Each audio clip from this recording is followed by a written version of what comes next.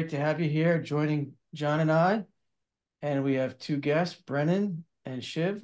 First, I'd like to introduce myself, Carl Rosen, oculoplastics, neuro-ophthalmology, Anchorage, Alaska for the past 30 years in beautiful Alaska. It's actually a very nice day today. John Ditkoff, a cornea specialist, my friend and partner on the channel. And John and I were co-residents together back at Albert Einstein years ago. John? And nice to see everyone. I'm in Northern New Jersey. I've been in practice for 30 years. I do general ophthalmology, specializing in cornea. And I'm very excited to hear if I remember anything from med school today. I want to hear about the life of a med student. So right. uh, take it away, Carl. Yeah. So we have two two great guys here. We have Shiv and Brennan. And I'm just going to give a quick background. So Shiv went to Seton Hall and he's at Hackensack Meridian School of Medicine. Right? Shiv went to Rutgers, right? Oh, yeah, I went to Rutgers. Shiv went to Rutgers. All right. So I blew it already, guys. Sorry. so uh, Hackensack Meridian School of Medicine, which is a new med school. When I was applying, that wasn't in existence, but we we celebrate Hackensack Meridian School of Medicine, and Shiv and Brennan are both first years. Uh, so Brennan is a Seton Hall graduate. Mm-hmm. Got that right? Okay. And um, redeemed myself. And is also at Hackensack Meridian School of Medicine, also a first year. And as I understand it, you're both interested in ophthalmology. It's a little early in the career, but it can't be too early, I suppose. Um, and I just wanted to mention Shiv is a poker player. He does super well, makes tons of money on the outside. And Brennan is a basketball fan and rides motorcycles. Okay, guys, so welcome to the channel, Einstein's Eyes. We're thrilled to have you. And tell us about life as a first year medical student. Uh, and then John and I will just jump in and ask questions, to kind of fill in the the story gaps, but uh, take it away. Yeah. Uh, you want me to start? You start? Yeah. All right, cool. So um, I'll tell you, coming into medical school, I had no idea really what to expect, um, both from like a, um, a workload point of view and kind of like a peer point of view. Um, you know, as a kid or even as applying, you you know, you don't see yourself hitting that level, and you're like, I have no idea what to expect. Um, and then coming in, you know, it, it felt pretty cozy from the start. And um, I don't know if it's because it's a new school or the people that I'm around, but um, at, at, least from the start, it just felt great being a part of this school. Um, and I think half of it had to do with it growing. Like as we're going through it, the school is also growing and it's learning how to be run as a medical school. Um, and as far from you know student point of view, without getting into the books and the studying, um, just it's been great. I've I've had nothing but good things to say about school so far and um, Shiv could probably talk more about that too. It's just a great time. Right to kind of snowball off of what Brennan was saying that in the school growing with us, uh, it's nice that there isn't really anything concrete as terms of how things are done around the school. So if a student comes with a new perspective or, you know, there's some way that our class feels like we should be taught in a certain way, the school is very accommodating in that. And so that's a nice aspect to, you know, having just started medical school and not really knowing and even for some students it's difficult to transition from undergrad education into medical school um, i can you know give a, a little bit into that as well. It was difficult for me initially. And then i think the school being very understanding and accommodating and that has made that transition easier. Mm-hmm. yeah so really feels partnership. you guys have online classes or is it all in person or has it? all in person. Yeah, yeah, all in person. Um if there's a snow day or two then you know but yeah. But, but it's traditional. And then I, I mean, I've heard different things. Like when we went to medical school, I mean, I went to a semi med program, but still back then it was traditional. The first two years was classes, you know, basic sciences. And then the third and fourth year was rotations and clinical. Someone was telling me recently that a lot of the med schools are doing it kind of in a different order. Is that the way you guys are doing it, or is it more traditional?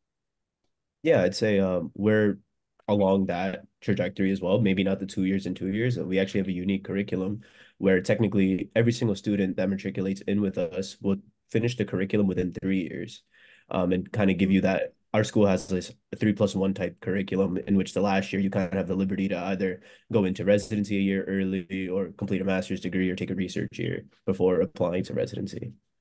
Mm-hmm.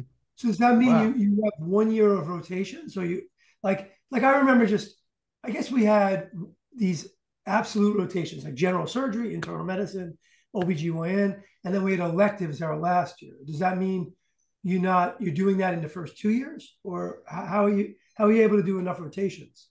Yeah, so it's it's actually funny. Our like didactics instead of it being two years, it's I think uh, eighteen months, right? I think that's uh, yeah.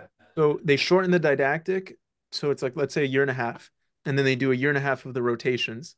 Um, and if yeah, you stay, if, yeah, if you stay within the Hackensack network, that's like the cool thing. They'll funnel you the third year right into residency in Hackensack. Um, wow. And then the fourth year, you can do advanced rotations. So you get your basics, and then you can go into depth, um, and you can get, like Shiv said, the masters, like business, public health, research, whatever it is, you know, you want to do. Wow, that's really interesting.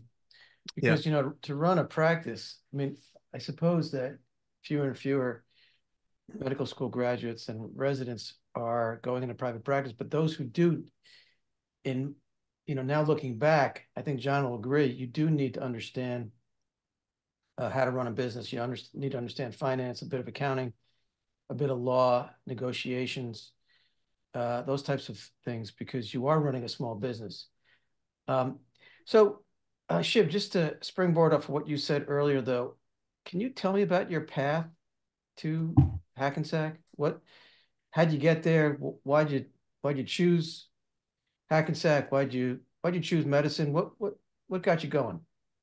Right. So, um, loaded question, but I'll I'll try to pick it apart as as you asked. Uh, well, I'd say my route to Hackensack is um, I grew up in Jersey City, um, and I still currently reside in Jersey City. Hackensack is just 20 minutes away, so uh, a great driving factor in my decision process after getting um my acceptances to medical school was the fact that I'd be very close to home, very close to my social support, and so that was a, a big reason as to why I decided um on Hackensack.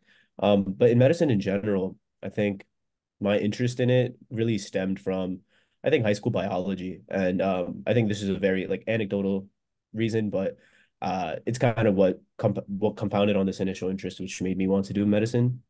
Uh, we were learning muscular contractions, and I think just the biochemical mechanisms underlying it, and then that turning into some greater macroscopic effect was really what intrigued me. And then kind of learning more and more, and then majored in cell biology and neuroscience at Rutgers, and so that's kind of my entire undergraduate education was dealing with these kinds of mechanisms, and that's kind of where I fell in love with the idea that I could, you know, give somebody some sort of medicine that works at a level that we can't see with the naked eye and have them, you know, treat whatever uh, disease that they're they're dealing with.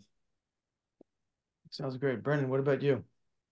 Yeah, so mine's uh mine's a little weird. Um, my so my father was a physician um and he was a cardiologist and my mother ever since i was growing up was like you got to be a doctor you got to be a doctor i said mom no i don't i don't want to do it get it away from me you know that's my dad's thing right let him get the spotlight and i think um came to maybe my junior year of high school um I was taking physics and I was like, I don't like this that much. So, uh, you know, I was, I, I remember sitting there and coming home like, mom, like, you know, I, have always been good in the sciences for the most part. Naturally, it just it kind of clicked.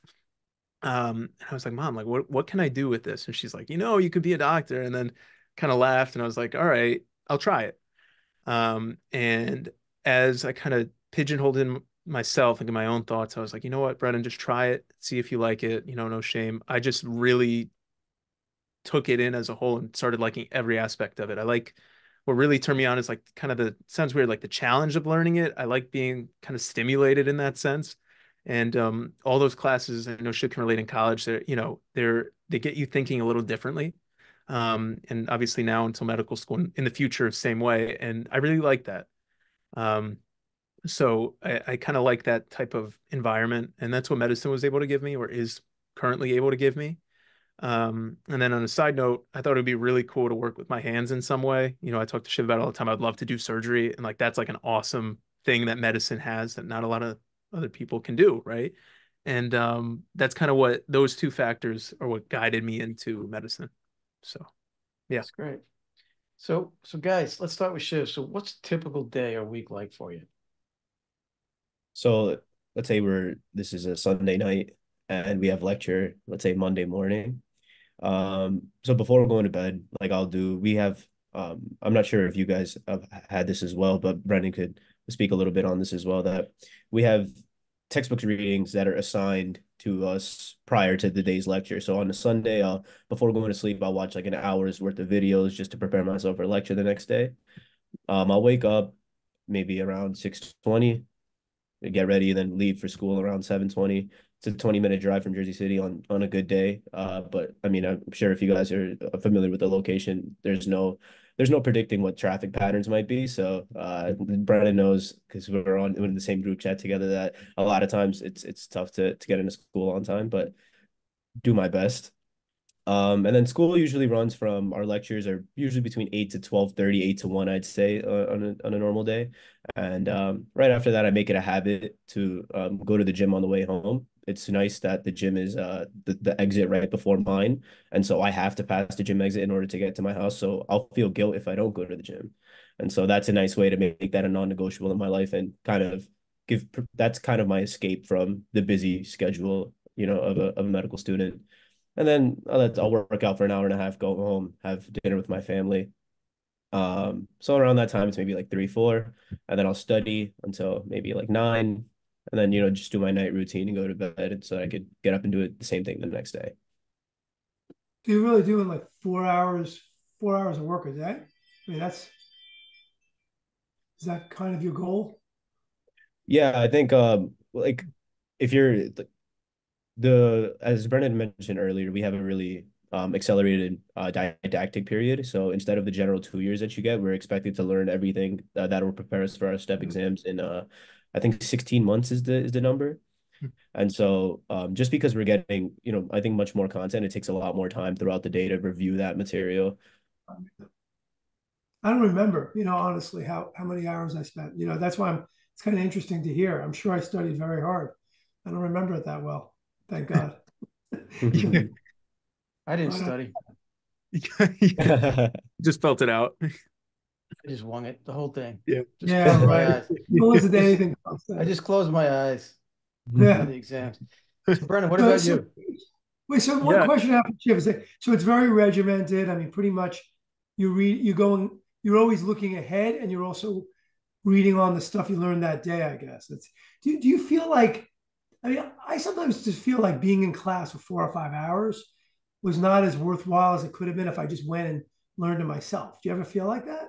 Yeah, absolutely. Um, I don't think every lecture is a great lecture, right? Um, there's a lot of times where you you'd be sitting there and you're thinking to yourself, like, if I had given myself maybe 30 minutes outside of this, I probably could have learned it within the time, like within that like two hour allotted period, right? So a lot of times lectures do kind of feel like a waste of time. Um, but then other times there's somebody who comes in who's really, really passionate about what they're teaching, and you know that energy is contagious, and you're able to just, I think, the way they teach it to you is the the same way like a, a kindergarten could understand. And so like right. those are definitely a lot more worthwhile.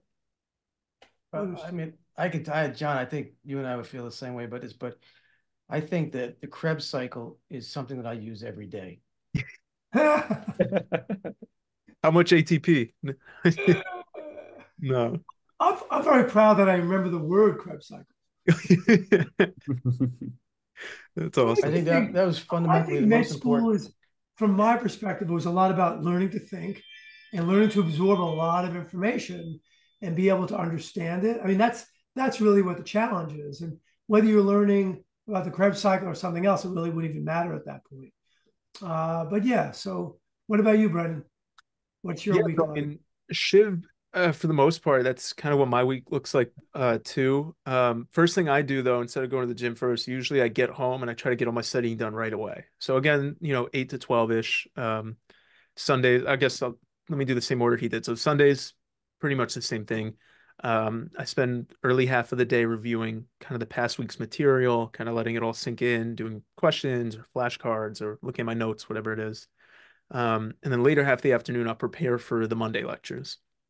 So um, the preparing ahead is pretty much every day. So if it's Monday, I look at Tuesday. Tuesday, I look at Thursday because we'll probably get into our Wednesdays. Our Wednesdays are a little different um, from what a traditional medical school should be. Um, so yeah, get out, let's say 1230. I come home, eat lunch, um, and then I just get right to kind of reviewing for the day. Um, I'm least productive between like four and six. So maybe I'll go play basketball or I'll go to the gym. Um, and then when I come home, I'll shower and then I'll do my work for the next day, which usually, you know, along with Shiv doesn't take too long the next day stuff because it's kind of like an intro. Um. You could always dive really deep and make it instead of one hour video, like three hours of videos. But if you don't have time, it's not a big deal. You just do it tomorrow.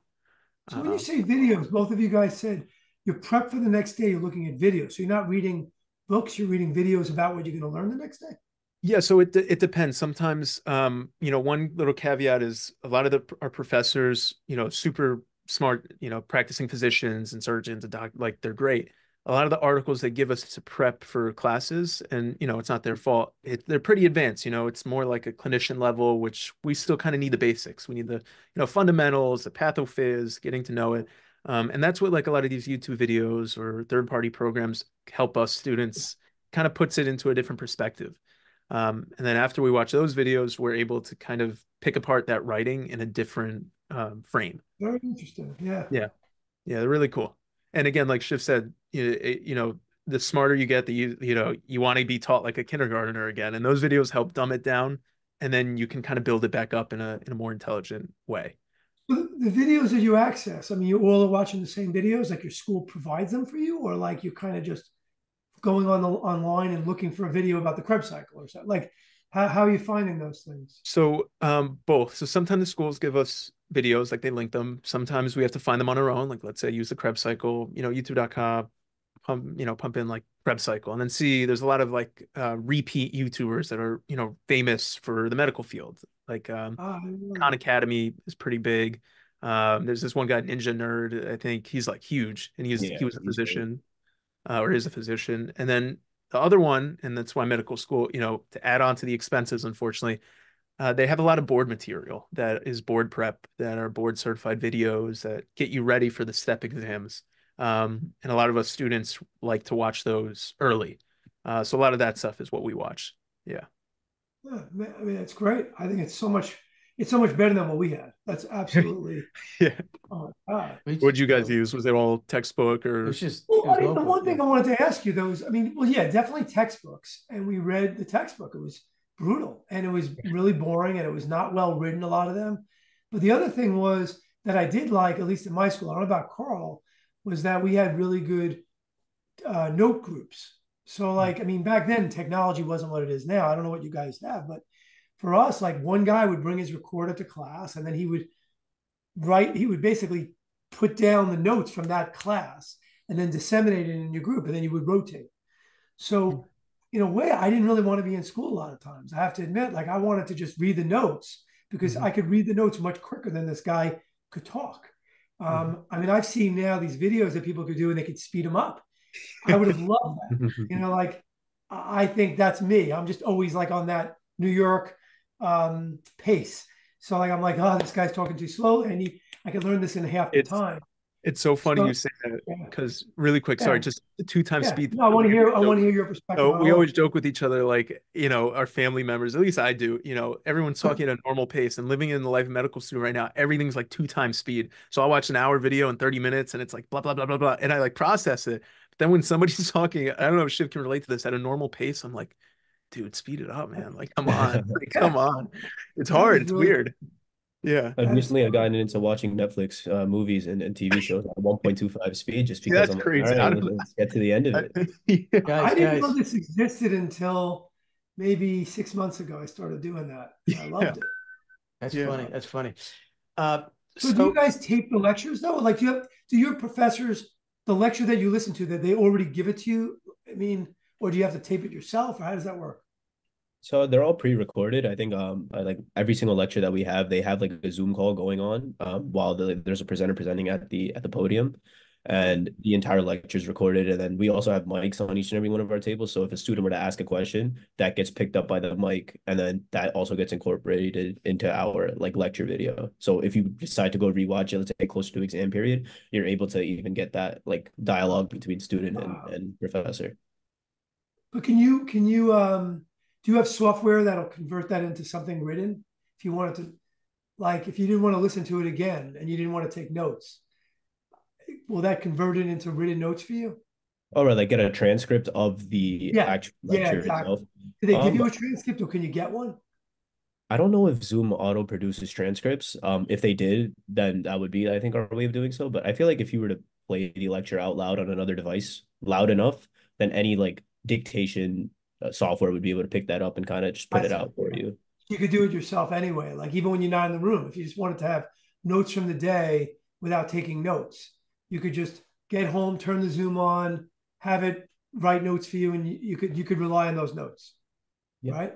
Yeah, it's brilliant. I mean, it's so much better than what we right. I mean, it's. I mean, the only negative I would think is it's just very it can be very passive. You have to be, you have to be involved, I guess, and everyone learns a different way. So, right. so guys, so this is for uh, the college students that are interested in medicine. What's the biggest surprise about medical school so far? Shiv, you're up.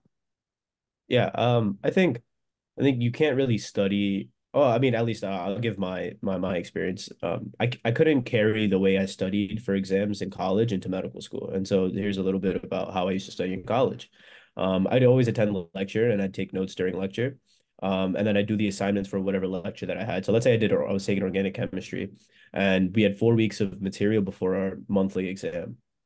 I would prepare myself for lecture, go to lecture, take down whatever notes I needed, and then we had an assignment or a quiz at the end of the week. That's what I would do.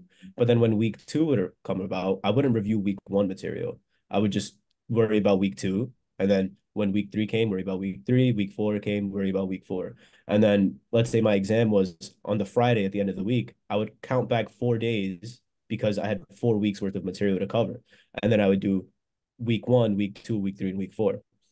What I realize now in, in medical school is that the amount of volume, there's just a volume of material that we're expected to have on command for these exams and the detail and depth to which we need to understand it is so much that if you aren't constantly reinforcing what you learned um, then it's very easy to forget everything.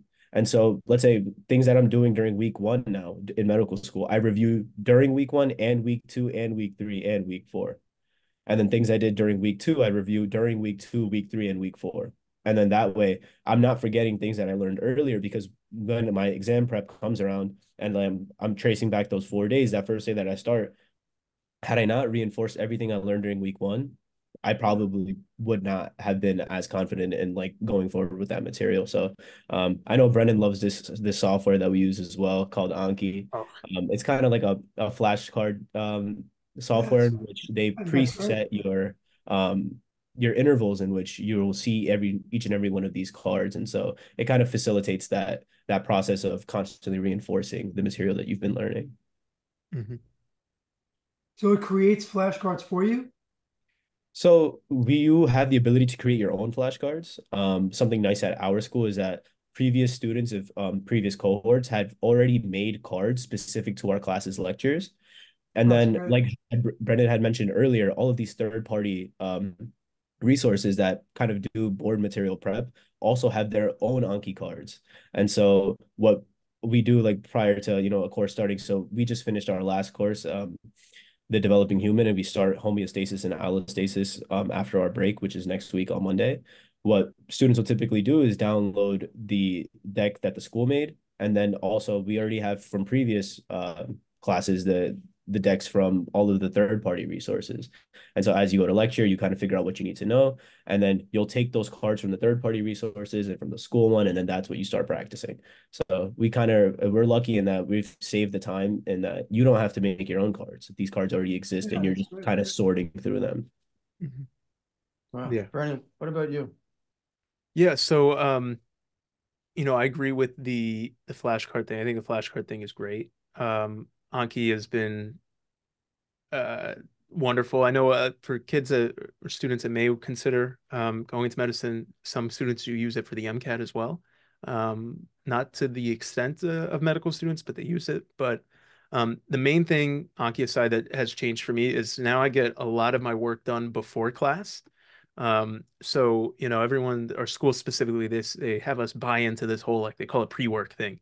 Um, and you know, I think the takeaway is it doesn't have to be their pre-work, like their assigned readings. As long as you do something um, before class, I think for me at least, it's helped shape my learning. You know, now in class, I'm not taking notes. I'm not listening. I, am not like uh, fighting for scraps to try and hear what the professor's saying.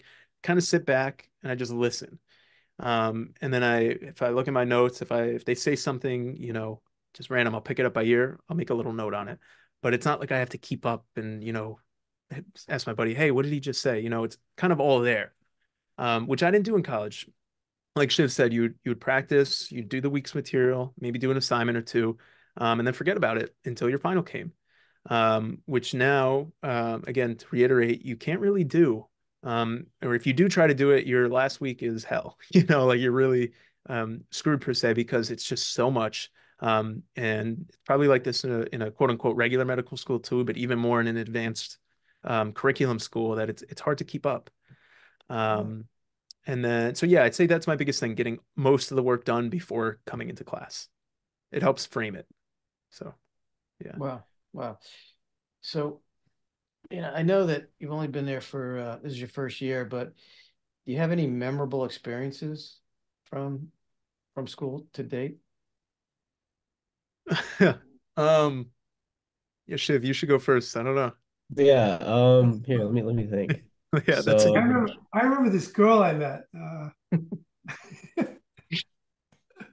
In between name studying the was, uh, Krebs cycle. her name was uh, Darla. Darla, if you're still out there, I'm married. Sorry.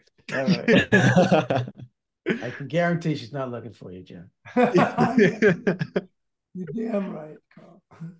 um, I got a good one actually. I'll go. I'll go first. I mean, I think this is it's a pretty early memory, but fun nonetheless. Um, one of the first the first two weeks of medical school are like a they're not um study weeks, I guess. It's kind of like here's the curriculum, here's why our school's different, get to know each other, right?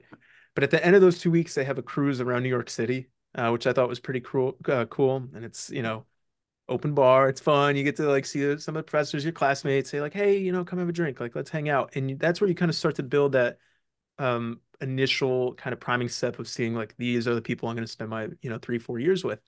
Um, I think that was a fun night. It, it was kind of the first moment where I was like, you know what, medical school, they're not just like nerds. Like these are actual, you know, people. Like they're cool people. Yeah. Um, and coming into school, I didn't, you know, it's a child's point of view. You don't, you don't think that they're going to be like you, you know, and um, they are, and that was really cool. I remember having a conversation with my brother before coming to medical school, and I was like, you know, I think I'm gonna walk into medical school and not really have many friends. I think I'm I'm not gonna get along with a lot of the people just because uh like some some of the pre-med like uh students that that you kind of disliked in colleges are the people in your mind that you think are going to be in medical school. And then I was pleasantly surprised throughout the, you know, um, those first two weeks where we got to know my classmates. And I'm like, wow, all of these people are actually pretty genuine, cool people to hang out with. And and um, I met Brennan during those uh two weeks, and now we're good friends. That's great. That's great. Do you feel like when you were pre med in your in your colleges that it was more cutthroat and more difficult to get along with people in your classes, and like in med school, it's not as competitive, like where everyone's you know like you know I mean everyone's you know you guys are going to do your work. You graduate med school, obviously there's different um, specialties, but for the most part, it's different than pre med where you know probably the guy to your right and the guy to your left is probably not going to med school kind of thing. I mean, is it different that way or not? Not per se. I think our school nurtures a, a completely different, uh, you know, like environment, and, and the reason I say that is because our curriculum, uh, at least uh, preclinical, is is pass fail, and we're not ranked against one another, and so because of that, every student is willing to help another student out, and you know, especially when it comes to understanding the material, like people are willing to, you know, go out of their way to help help people out. Like we have this one course called HSS, which helps health system sciences, and it's really just a an ethics and statistic like medical statistics course. And there's two students who go out of their way during exam week to hold a review session for every single student. Um, I could imagine if that we didn't if if our curriculum wasn't pass fail, you know, preclinical, those types of sessions wouldn't exist because why would you want to help someone out if they're going to be your competition? Yeah. Right. So I think if you were to ask another school who doesn't have the same format, I think the answer would vary, but at least in our environment, I think it's different. I um I agree. I think compared to the the I guess pre-med uh, track in college, I remember being very um I guess uh, not for lack of you know lack of better words like disappointed, right? Not that Seton Hall or Rutgers or any of these schools have bad programs, but the people, you know, they're uncertain, just like myself. Um, they don't know if they're going to get into medical school or not, and they have to be the best uh, to stand out. Um, I never had that type of personality, just personally, where I was like, I'm going to make sure you don't get in. It's like, I'm going to do my work. I think I'll get in. I'll be fine. If you need help, I'm one of those like I learn by teaching, so it was easy for me to yeah. say, sure, I'll help you, you know, because it's benefiting me. But um, I don't know if Shiv can relate. College was a little brutal. I remember even something simple like, hey, you know, I'm studying for the MCAT. This section's a little rough. Like, did you do this practice test? Can you help me out? They're like, sure, sure. And then they never reach out. And even if you reach them out, they just leave you alone, you know. Um, and uh, I, you know, coming into medical school, I thought it was going to be like that. It's really not, at least not at our school, and that's that's kind of what I like about it. It's very family style.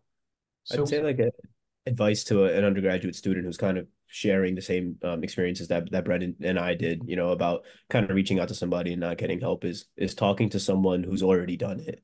Like if you're talking to a first year medical student, they understand everything that you're going through, or a second year medical student because they were in that in your shoes like not too long ago and they understand that everyone maybe who's the same year as you and applying to medical school is not as willing to help out. But um, i've felt at least in our school that anytime i reach out to an upperclassman they're more than willing to help me out because they know one you're not in direct competition with them. So that's a you know they they wouldn't try to you know withhold information.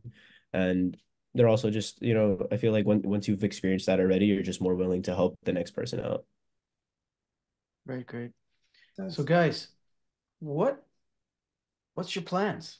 What what do you see yourself doing after med school? Guess I'll go. Um, hopefully residency, right? So, um, I you know I really didn't know what field I wanted to go into, um, per se. Um, I finished college up a little bit early. I finished a year ahead. So in that kind of fourth year, what would be my senior year, that's when I started working at the Retina Center. Um, and I just loved it. I mean, I don't I don't know if it was the people or the specialty or just ophthalmology as a whole. I thought like this is really cool because it's such a small organ um, and it's a whole world inside. And I was like, this is that's cool. You know, I never saw myself being the doctor that's um that knows everything like about you know like let's say like a primary care where they're just like master at you know everything.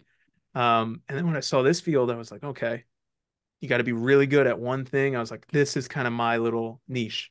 Um, at least from was I don't know, you guys can attest that. I don't know. I that's how I see it. Um, and I think it's really cool. And so yeah. hopefully I'd like to do ophthalmology. I'd, I'd want to get into a residency around here. Um, again, from Jersey, I'd, I'd like to stay in Jersey and kind of be like a hometown hero kind of thing where it's like I'm with my mother and with my grandmother. I can just, you know, help them out. And, uh, and yeah. And then Dr. Ditkoff, Dr. Angeletti, all the, you know, doctors at the Retina Centers have been great influences on that. And, you know, if I have questions, they help me out. So that's, uh, it's kind of what I see, hopefully. Yeah. Shiv, what about you? Yeah, I, I think more or less the same plan. Everyone who at least enters medical school hopes to, you know, do some sort of residency to become a practicing physician. So um, that is definitely, you know, the number one goal after graduating. Um, and yeah, I, I also share a similar interest in ophthalmology. Um, though, as you guys had mentioned, it's it's pretty early to have like, you know, definitive, this is what I want to do. Um, but I've had some nice experiences in shadowing an ophthalmologist. And I, I do think I like the idea of being able to work with my hands and, you know, being a master of, of one organ and, and being able to do things procedurally. Um, so hopefully a residency in ophthalmology um, nearby, which is uh, kind of been the theme too for me, you know, born and raised and still living in Jersey City. Um, all my schooling has been within Jersey. So I really do have, you know, strong ties to the state and I do hope to practice within New Jersey. And yeah, do you think? Um, I mean, you think you guys are gonna? What are you gonna do with your fourth year? Do you have any feeling right now? If you had to guess, um, do you think you'll do? I mean, a master's? Do you think you'll do just a clinical year of to help you get into residency, or do you think you'll just try to get into residency right after three years? So, um, for me, at least, um, I, I would like to get a master's in business that year. If school does offer it, um, just either if I, you know, manage to you know buy into a practice or run one with someone or start my own i'd kind of like that background on just how to run something i don't think they really teach it that well um, in like a medical school curriculum so having you know even something as simple as like like how, how do physicians get paid from insurance, like reimbursement. We have no idea, right? So like something that would be able to like guide us in a business aspect in a place of a physician. I think that that's kind of what I want to focus on my fourth year. Um, obviously do research. I'd like to, you know, with all that time, I'd like to do a clinical project um, versus like a written, you know, uh, case studies or meta-analyses. I want to do something more substantial. Um, maybe just travel a little bit, you know, you know, as you know, a little bit if I can. I know life really picks up in residency, so just be able to balance my life for that fourth year. Yeah, sounds like a good plan. Yeah, I think more so play just playing it by the year, really. Um, I know ophthalmology is a really tough, you know, field to go into, and so you need to really stack your resume. And so I think by the time my third year comes around, I'll really be able to gauge where I'm at as far as um, you know, uh, like if I'm prepared to take you know, if, if I could just focus on research maybe, or if I'm ready to under undertake a master's degree, right? Um, I think by my third year, I'd be able to understand that. But in an ideal world, I'd love to also get a master's because um, even though we're de- technically done with our curriculum in three, we're still required to pay tuition for the fourth. And so uh, I think to get the most bang for your buck, it's it's definitely getting a master's degree. Um, and then also you know making sure that my research resume is also there so that i'm competitive amongst other uh, people applying for ophthalmology. And yes yeah, similarly just want to travel too. I don't know how tough resident life is going to be on that. I understand you get days off but i mean don't know when they so in the three years that you're there it's all pass fail or is there are there parts that are not pass fail so um the the didactic um, and then when you start, I think, Shiv correct me if I'm wrong, just like the clinicals, I think there's like, I think it's pass, high pass, honors. Is that like the yeah. scale? And that's yeah. when you start to get your rank. So obviously, I think there's fail, there's pass, whatever. But it's based more uh, on your clinical than on your basic science. Yeah. Yes. And Sorry. even then, when we started getting ranked during our, our clinical period, I don't think we're ranked like one, two, three, four throughout. You know, like it's not like a, a numerical grading like that. It's more, I think it's quint, like quintuplets or quint you're not yeah not quartiles but the one above that quintiles yeah quintiles yep yeah john how, how did it work for you so you know i went to a seven-year med program out of high school and while i was in my freshman year of college i was 18 years old i was taking english 101 which you know you had to take it's prerequisite to get through college while i was taking anatomy like medical school anatomy so I had a very unique pro- program. There's really no programs in the country that are like that, where you are taking medical school classes while you're taking undergrad. And um, for me, grades, we had grades, but they really, for me at least, I didn't really think too much about them. Like, you know, in high school, I was really driven to be ranked top of my class, get all A pluses. And, but in med school, it was like, if I got a B or I got an A or I got, I don't even know if I got any C's, but I don't remember. It didn't matter to me. Um, some of the guys really did care more. Uh, and then what would happen is in your fourth, in your fourth year of the program, we matched with one of eight med schools. So probably I didn't care enough because I, I wanted to be a doctor. I didn't really think about, I was 18 years old. I wasn't thinking about what kind of specialist I wanted to be or where, which school I wanted to go to. They were all amazing schools in New York State. So I, I didn't really care that much. So I got through them. I got through my first three years pretty much with that in mind. And then my fourth and fifth year, I started thinking, hey, you know, let's say I really want to do something that's competitive. So I started to actually work a little harder to get A's uh, instead of B's, but it didn't really matter at that point. I already knew where I was um, going to my, my sixth and seventh year. And then for us, sixth and seventh year was exactly what you said. It was I was at upstate medical school. It was pass, fail, or honors. That was it. And um, so when I applied for ophthalmology, I was very fortunate because the residencies would look at me and they're like, "We don't understand where you went to school. Like, what is this?" And I would say, "Well, I went to a seven-year med program. I was a very good student in high school, and I had to, you know, explain that to them." And they'd say, "But really, my main focus was my clinical, and I got all honors that year. So that's how I got into ophthalmology. It, my grades in my basic sciences were not necessarily very good. I did really well on the, on the standardized tests." So it's kind of interesting the way you're saying it. I I would have liked that better. I think clinical is everything. I, I think when you're being judged during rotations, it's not just rotations. A lot of people think, oh, you know, it's how well you do in the clinic. That's not true. You're taking a test at the end of each of those rotations.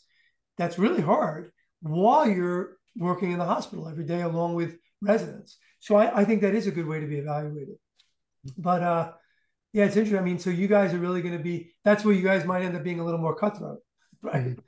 Yeah, yeah, yeah. Tough. But but guys, John's being humble because at, at uh-huh. Einstein they used to whisper the name Ditkoff.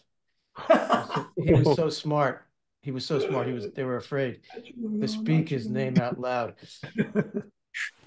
Not even true. Yeah. So I had everyone knew I had comments. I, Carl I mean, went. Carl went to a really good college. He went to Amherst, and he was he was that guy, and then he was the research guy. He yeah, was, yeah, yeah, yeah, yeah. No, I was a research guy. I was a research guy. But the reason I went to Einstein, and I, I basically applied to one ophthalmology program. it was, and Ron Bird just liked me, you know, because I, I was at Einstein. I was at Einstein. Yeah. So That's I was an, I was an intern at Einstein, and I walked in when I was an intern. I just interviewed, and I remember sitting in in the in the waiting room with all these kids that were super intense, and they were applying to twenty five programs, and I applied to one program.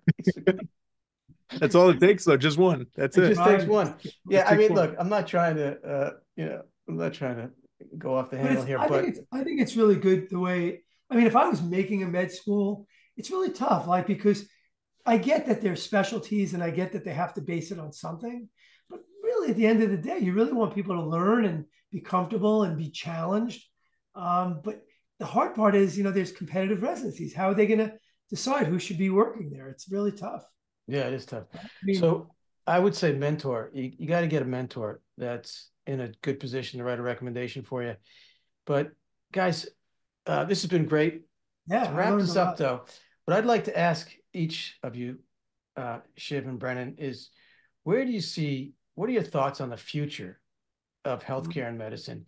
I mean, given that ChatGPT is around, 4.0, 5.0 is coming, you know, there's this new book by Kohane and Goldberg about AI in healthcare and, you know, artificial intelligence doing a better job than doctors.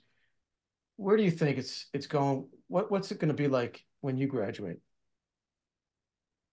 I think at least um so I, I I know this this topic is really pertinent in the field like radiology and um I think like uh, that telemedicine uh, and uh, that for that matter too but um specifically in terms of radiology is where I've been reading into it a bunch more um I think physicians who are able to use artificial intelligence to their advantage will maybe outcompete a physician who's not capable of using artificial intelligence by the time that Brennan and I are ready to be become practicing.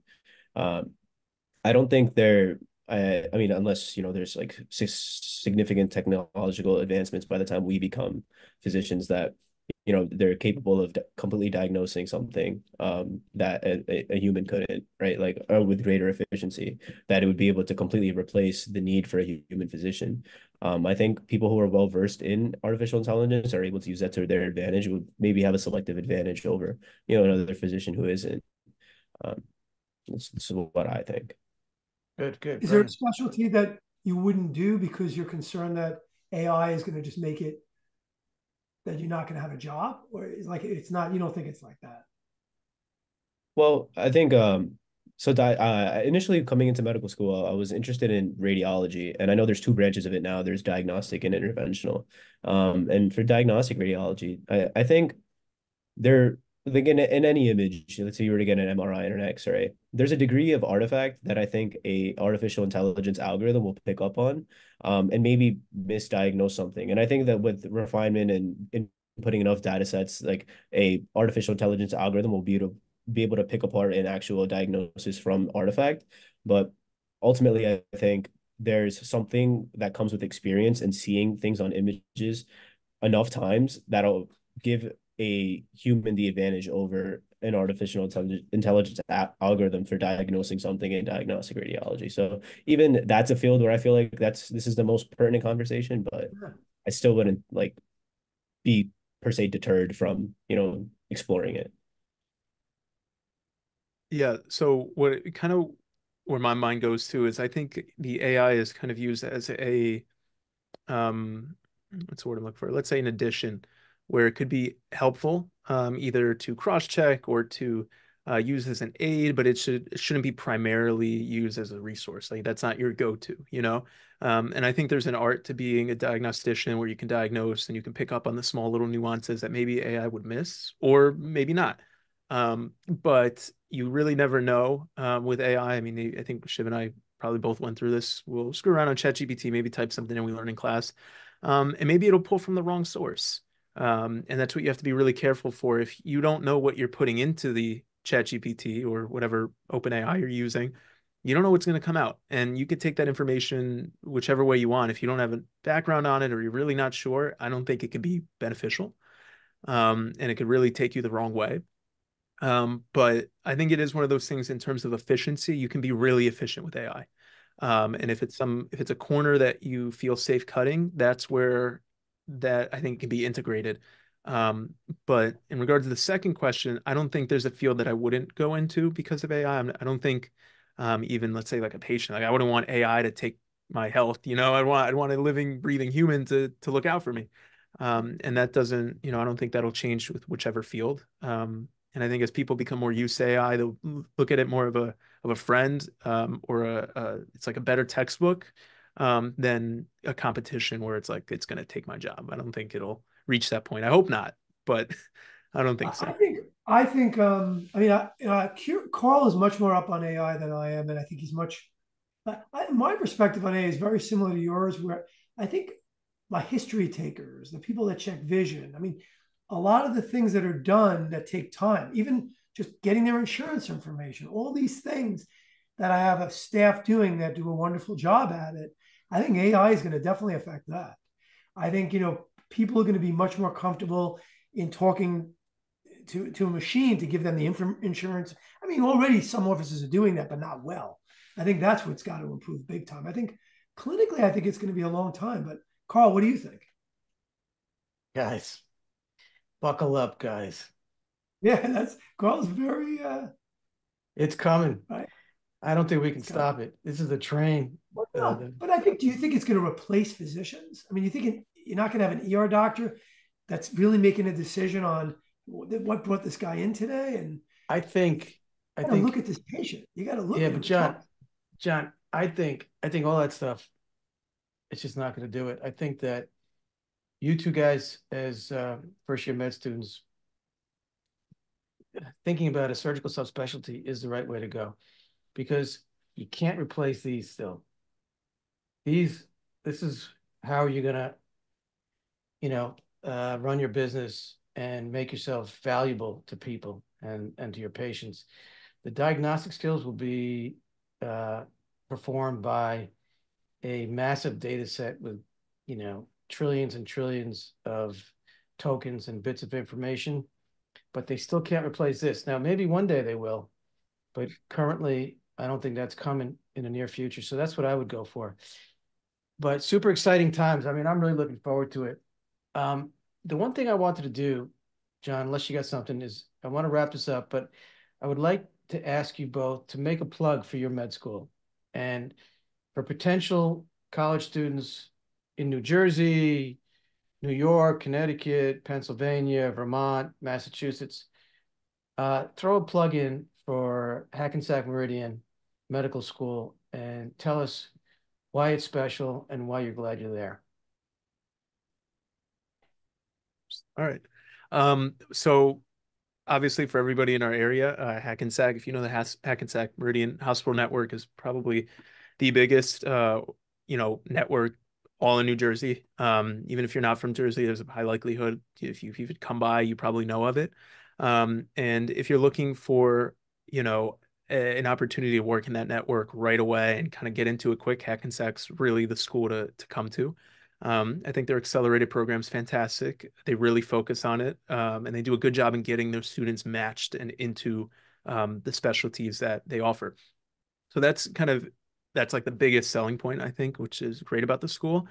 Um, and again, I don't want to take too much from Shiv's answer, but also the camaraderie, I think, is really good.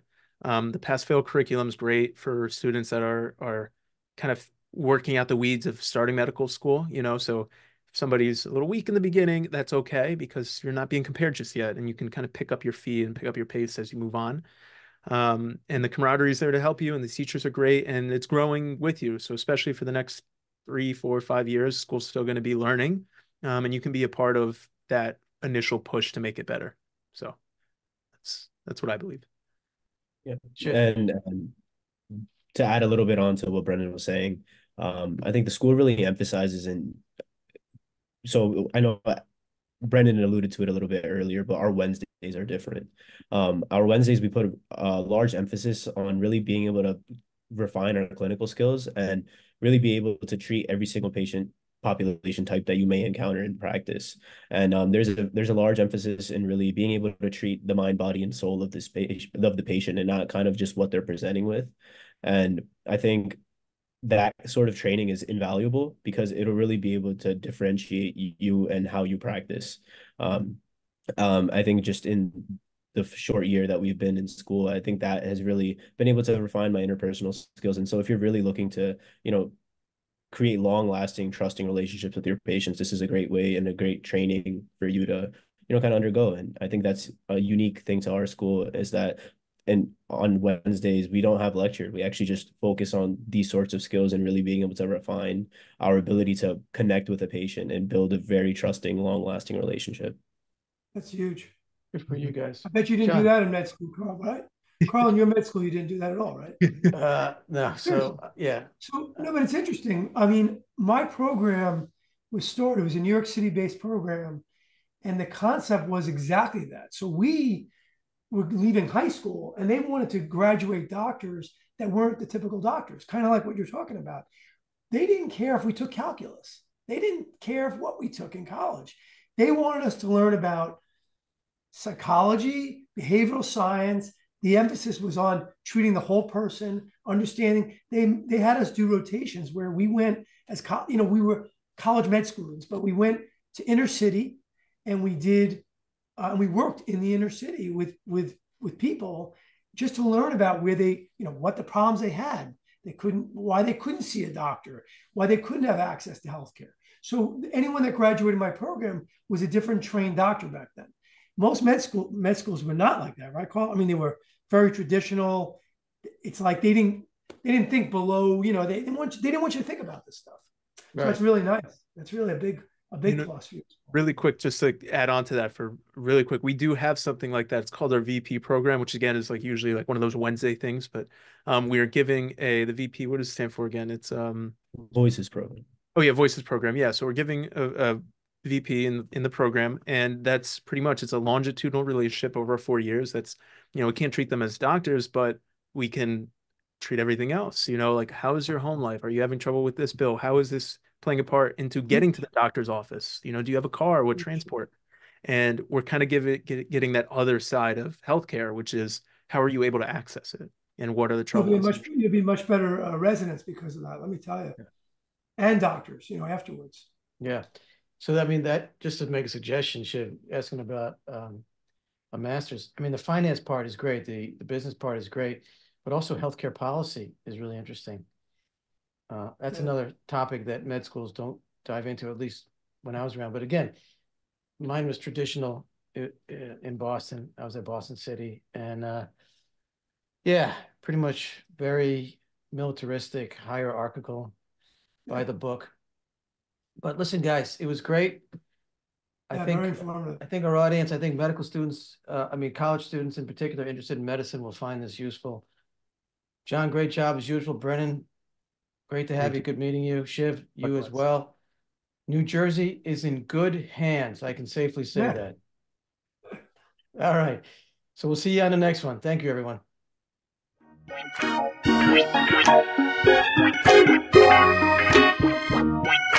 Thank you.